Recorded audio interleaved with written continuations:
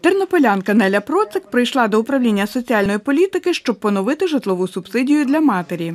Вона пенсіонерка.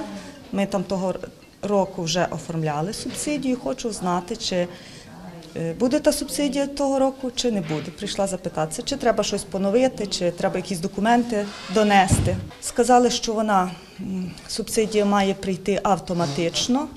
Автоматично перерахують житлові субсидії людям, які отримували ці виплати влітку, а також під час минулого опалювального сезону, розповіла начальниця міського відділу з надання субсидій Оксана Дендевич. Якщо в них не відбулися ніякі зміни ні в складі зареєстрованих осіб, ні в складі фактично проживаючих, якщо вони не набули право власності, не здійснювали ніякі е, оплати, не міняли соціальний статус, них не мінявся, то їм ніякої інформації управління соціальної політики не потрібно надавати. Субсидії будуть продовжені і перераховані автоматично, включно по квітень 2023 року.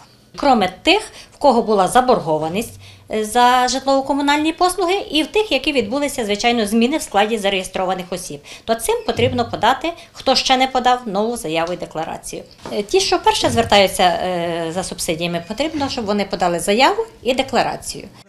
Людям, які звертаються за оформленням житлової субсидії вперше, також потрібно подати до управління соціальної політики заяву та декларацію. Це стосується і внутрішньо переміщених осіб, каже Оксана Дендевич. Якщо зареєстровані по місцю проживання без реєстрації, то вони подають управління соціальної політики теж заяву і декларацію, надають підтверджуючу довідку, що вони є внутрішньо переміщені особи, і ми субсидію їм призначаємо відповідно по місцю проживання. От а є певна частина е, внутрішньо переміщених осіб, які знімають житло згідно договору оренди. Теж вони мають право на призначення субсидій.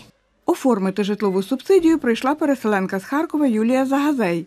Жінка розповідає, переїхала до Тернополя з трьома дітьми. Зараз винаймають помешкання. Я прийшла оформити е, житлову субсидію, щоб е, легше було на опалювальний сезон нам. Тому що я воспитую одна, троє, троє діток. Мені виходить платити 3200 саму за саму квартиру, плюс комунальні мені виходить 4 там, принципі, 4200 виходить. У черзі на призначення субсидії тернополянин Володимир. Сім'я в мене велика, розхід є великий води і енергії, і так само газу відповідно до, до кількості членів сім'ї. Тому і прийшов. Житлову субсидію розраховують індивідуально для кожного домогосподарства, розповідає Оксана Дендевич. За її словами, розмір цієї субсидії залежить від його доходу, кількості зареєстрованих осіб та загальної площі житла.